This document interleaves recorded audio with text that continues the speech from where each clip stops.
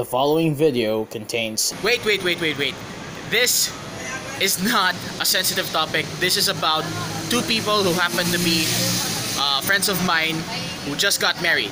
So this is an absolutely different, uh, different insight or different uh, content for this channel. So uh, I suggest you watch it from start to finish. I don't know if it's gonna be awesome, pero yeah. Please do just watch it.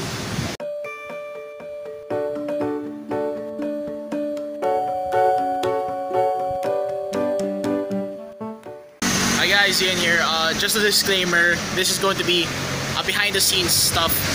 Kasi, uh, the, the day that I have recorded this uh, preview, uh, yesterday actually, bago, uh, prior to this recording, eh nag-attend ako ng kasal. It just so happened to be uh, my friend's wedding.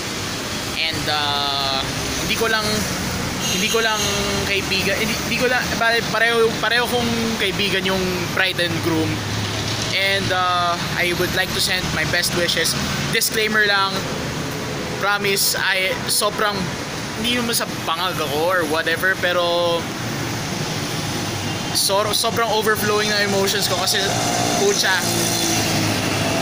never in my life na nagkaroon ako ng kaibigan na ikakasal. And doubly so na kaibigan ko talaga sila. Kaibigan ko yung yung babae at yung lalaki. And I was part of the nuptial entourage. So for the first time ever in my life eh na ano ko to na hindi man na-achieve. Pero na, na-invite ako on that matter. So yun lang. Uh, kasi nandito ako sa Makati. I'm editing this stuff. So please do enjoy it. I hope you will enjoy it. Kahit medyo bangag ako. And uh, I hope that I can edit this properly. So yun lang. Uh, please watch it. Hi guys, Ian here. Uh, Today is the 7th of September 2019 and narito ako ngayon sa Mela Hotel dahil inimbitahan ako maging abay sa kasal ng isang kaibigan so ito yung mga kasamahan ko na kapwa abay din or groomsmen so after you sir Thanks. so ito eh dahil medyo ano medyo nag-ano kami ah around 11 na ba sir? Tatawag na. Ah, magta-12 na. So, kakain na lang muna kami. And uh, what's good about this hotel is uh, may mga kainan sa labas. As you might see later on. Okay, so medyo mahangin. Nung dumating ako dito, yung yung pintuan ng kotse na sinasakyan ko, lumipad talaga. Well, not literally, pero talagang na-extend siya. So, sa, so ewan ko kung bakit, pero you know, it's a lot better than the fact na mainit tapos walang hangin. Kaya pasalamat na lang tayo sa Diyos at mahangin.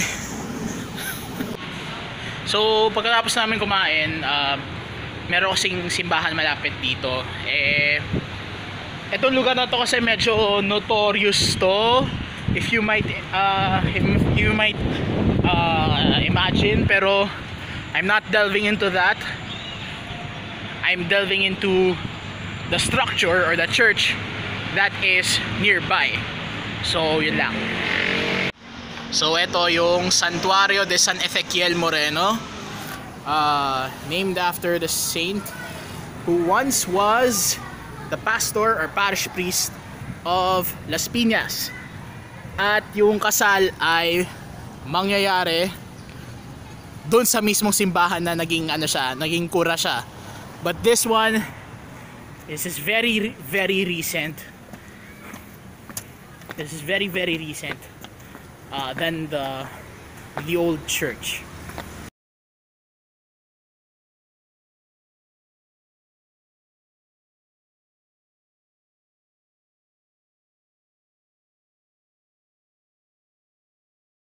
Ayun. So, I guess at least naka pasok kami ng simbahan nakakain na rin. So natuwag na namin lahat. Relax na. Or or is it gonna be relaxing? Abangan. Crunch time. Kung, kung ano ano ng pinag-uusapan dito well Pwede mag-park sa loob na uh, it's around uh, two Sabay lahat pala to, naka-charge. three hours before the ma- uh, wedding. At lahat sila medyo ano na. JP. medyo Kailangan mo lang siguro ng crunch time na. Pinaparong na nga ako eh. So bahala na. Hindi mo let's do this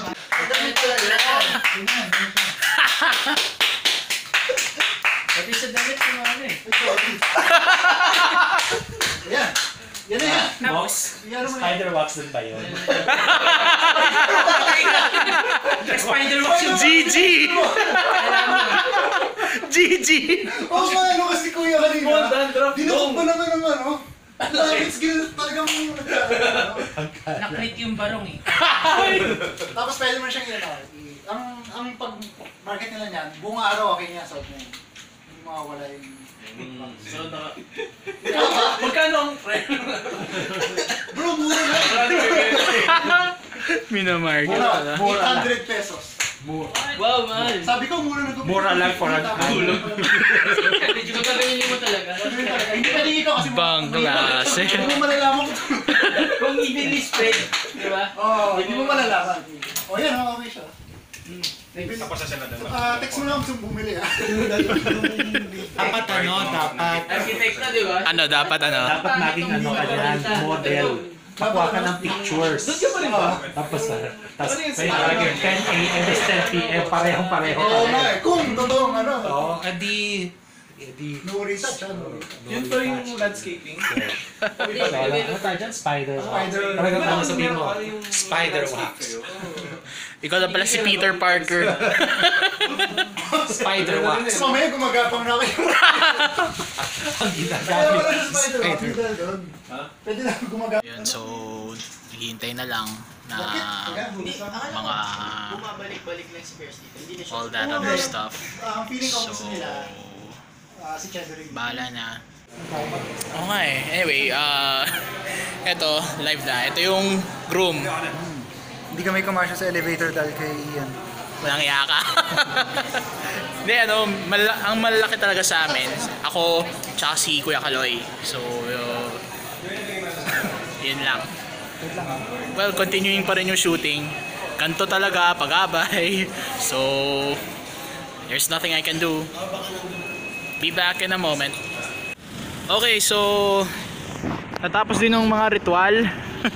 So eto ah naghihintay na lang kaming pumunta ng simbahan. So just a quick um, recap of who's ge- who's getting married and all that. It's uh, my friend Mox Vitasa and uh, Ana Ana Kosho. Actually parehas ko silang kaibigan. Prior to their relationship eh sila na I mean kilala ko na sila pareho. Both as individuals. Uh, the first time kasi na nakita ko si Mox ano siya uh, yun din kasi yung first time na nakita ko si Lovely yung girlfriend ko. So talagang medyo mer- memorable din. Sayang nga lang hindi siya makapunta. Uh, she didn't I mean it's not that she doesn't want to pero kasi conflict sa schedule niya kasi nga may ano siya may Italian class. So eto I'm baking myself in the sun. Security detail daw. Pero ayun nga uh, I would like to express my best wishes and congratulate and my congratulations to both Mox and Ana. You guys rock. Anyway anong gusto mo sabihin kay ano kay na Mox and Ana Oh, Mox, Ana, finally, dumar- dum- dumating din tayo dun sa araw na pinakainihintay ninyo. And the, the day na we have been waiting for also para sa union ninyo. We're so happy that God put you together. We're so happy that you found each other in this life.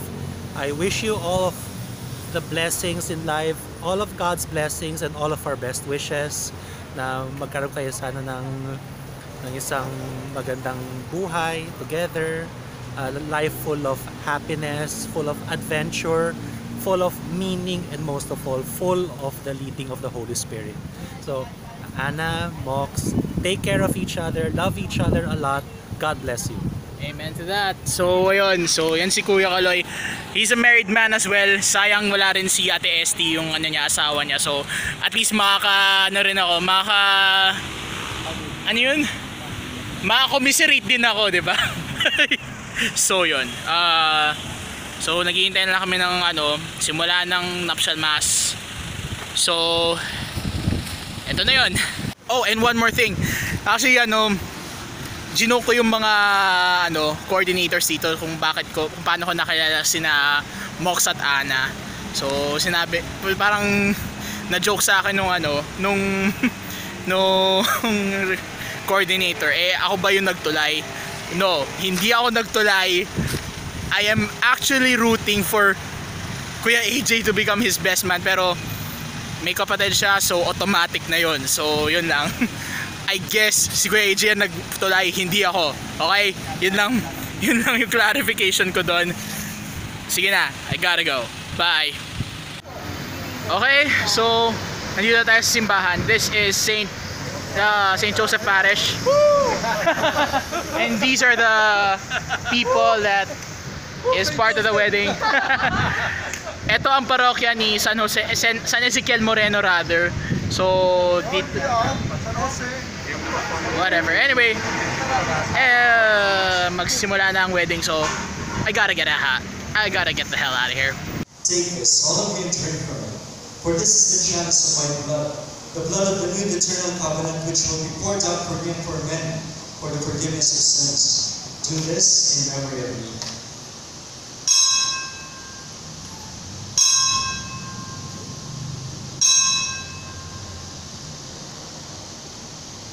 Kasi yung more often than not, yung mga original na yung mga original na mga requests ng mga ilang bride and groom mas malala lang, talagang all sorts of secular songs Yeah. in the mass. yeah So, to sort of restrain that. kumbaga ano kumbaga at least ano ah sa sa at least ano actually nasabi ko naman din kay Mox na ano eh, na ayun nga oh, just one, ano, at least at least after nung Yeah. isa talaga misa. so it's it's not ideal.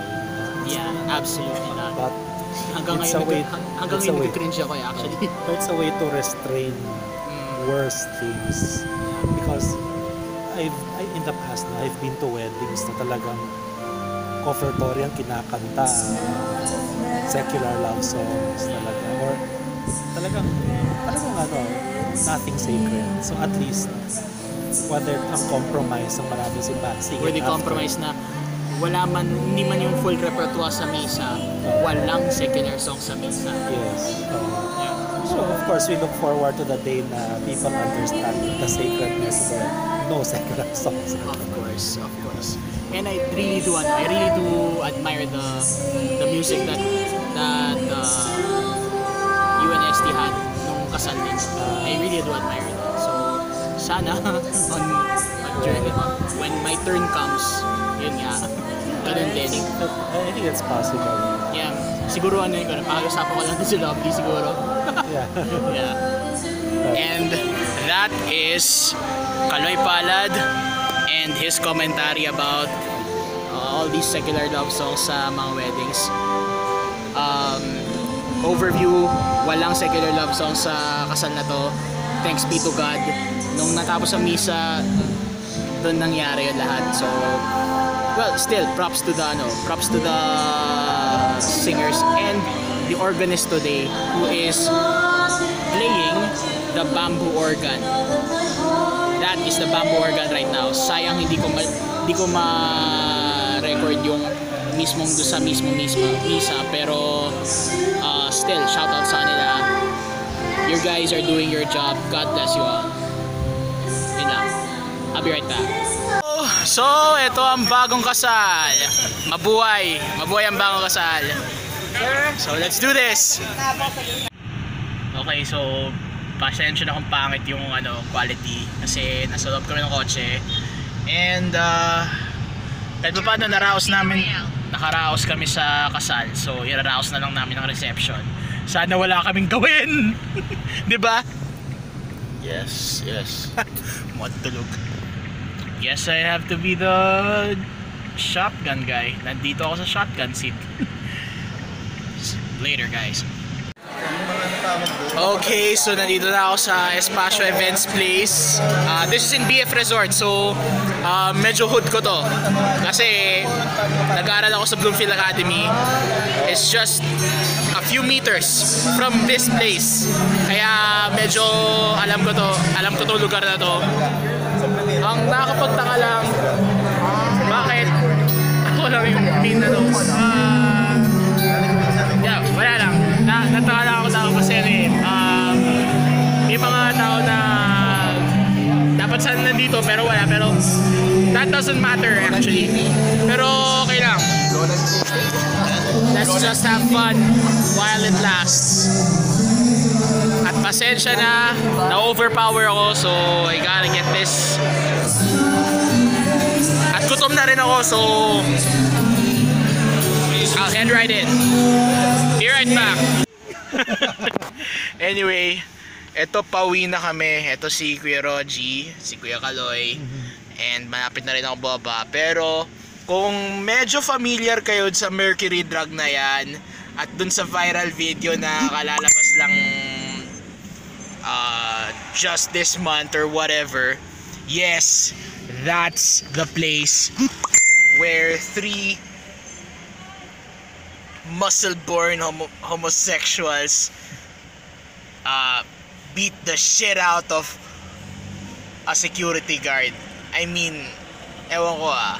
Nagkataon lang na out of gas out of gas sila ay out of gas si Kuya Roji and I told him um, may, may may gas station malapit dito sa dada- dadaanan natin. And eto eto lang naman yung pinakaunang gas station. After na ano. anyway wait lang ah. Malayo pa po kami, kuya. anyway ayun. Na, na-share ko lang. Pauwi na rin ako. Wala pa naman sa. VP Power Gasoline 1000. ayun so I'll I'll be right back. Babalik ako I mean record na lang ulit ako pag uwi ko na okay pag uwi na pag uwi ko na I have a lot of things to say to all of you Hi guys, I'm back from uh, back on my house, and um, I got two problems. Number one, may pasok ako uh, after I sleep tonight. Number two, how the hell am I going to edit this? So, siguro out of siguro ang gagawin ko na lang out of respect to the newlyweds, papaunahin ko na lang muna yung uh, yung same day edit nila tsaka yung full uh, wedding day video para paglabas na paglabas nun ready na rin yung basically yung ano na to yung video na to. Uh, by the time na by the time that I've up- uploaded this on YouTube kasi uh, since behind the scenes yun uh, syempre I wanted to make sure na the focus would be on the newlyweds and uh, their newfound uh, mission on being a family. And uh, sa totoo lang, paiyak na ako. I have to admit, paiyak na ako nung ano, nung do sa sa nuptial mass pa lang eh. kasi so, sa totoo lang with all of the stories that I've heard from Mox and Anna as well as from my as well as from our my other friends uh, who are in the at the at the wedding na ano na na they're already married I mean it's more than it's more than what I've uh, what I understand so with all that taken into consideration of course mm, Yep, saan po ito. Anyway, ayun. So, this is just a reflection. I mean, naging reflection na rin yung um, araw na rin ito. I mean, self-reflection na rin. Kaya, medyo, medyo napapaluha na rin ako. But, um, during the day. Kasi talagang, bukod sa, bukod sa na-witness ko, or nasaksihan ko, yung progress, progre, progression ng pag-ibig ni na Mox and Nana uh, for the past I think, six years, seven years. I lost count, pero promise, I've I have very much admired both of them, not only in their advocacy but also in their relationship to each other. They've stood for each other and talagang hands down talaga ako sa kanila. And as well as for other uh, the other folks who just got married, especially si Kuya Kaloy and si Ate Esty and uh, actually talagang nagpapasalamat din talaga ako na binigyan niya ako ng uh, overview on the first day of uh, married life during the during the wedding itself, wedding day itself. And um, yun nga, napapasalamat din ako sa lahat ng mga, hindi man unsolicited advice, pero uh, overview on how family life revolves. Of course, I also have to thank my mom and dad. Kasi, una sa lahat, wala ako pag wala sila.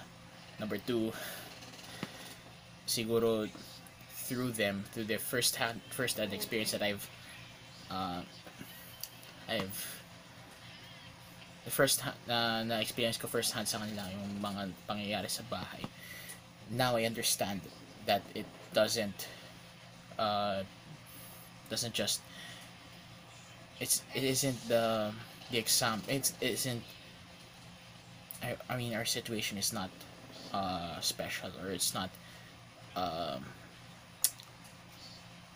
uh, um, identical or sabihin natin hindi siya yung typical talaga or sabihin natin uh, exceptional ba. I'm I'm at loss words promise. I am at loss of words for all that I have witnessed today. And uh, I don't know uh, syempre it's really very very very very uh, tiring day. So yun. Uh, hindi yan luha. Ano yan? Ah, pawis yan. Kasi sobrang ano talaga. And yun lang. I really am at loss of words for all this pero I am very happy. I, I mean na-experience ko na talaga na maging abay for the first time in my life pero sa totoo lang sa totoo lang it's not just that it's not just that eh. I mean the fact na kilala ko na tong mga yung kilala ko na yung ikakasal from the moment that they were in uh, that, that, that they were in a relationship hanggang sa ngayon I mean it's very it's a very it has a very special uh, place in my heart yung pag-aabay yung pagiging groomsman secondary na yun eh I never expected that until the last freaking minute. So, yun. Uh, hindi ko na hindi ko na uh, papahabain pa kasi baka mahaba na rin talaga to and hindi ko na talaga sure kung paano ko talaga i-edit to. So, hindi ko lang basta. I'll I'll just take the pains of uh, editing this and get and before that get some sleep kasi talagang inaantok na talaga ako and all the emotions are there. And mind you it's alcohol free so yun. Anyway um with all that said this is Ian. And until then see you next time congratulations and best wishes to now Mr. and Mrs. Vitasa bye guys have a good night it's really a privilege to be part of the bridal entourage, eh, the nuptial entourage. So, talagang since first time ko yun, mixed emotions and all that shit. So, uh, yun lang. And uh, siguro ang reflection ko lang doon is, or yung insight ko doon is, uh, life is just like that. Na um, talagang aanuhin mo, talagang marami ka talagang may experience na ganun and soon enough, may experience mo rin yun. Ganun.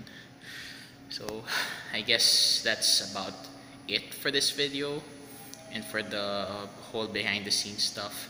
Uh, after this clip, siguro yung mga rejects or yung mga medyo funny moments. So, do enjoy it. Hi guys, Ian here. Uh, eto. Hindi, pwede magpa-assist naman sa... Hi guys, Ian here. Yan. So, Dito naman sa...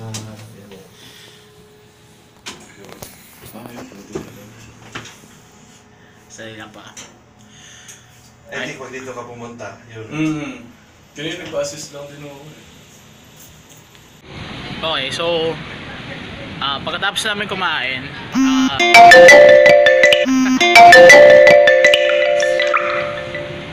back to the hotel we go. the perks of being a, a groomsman. First time to actually. Tingnan natin, sana magka-baby kayo agad. ano bang ano bang masasabi ko?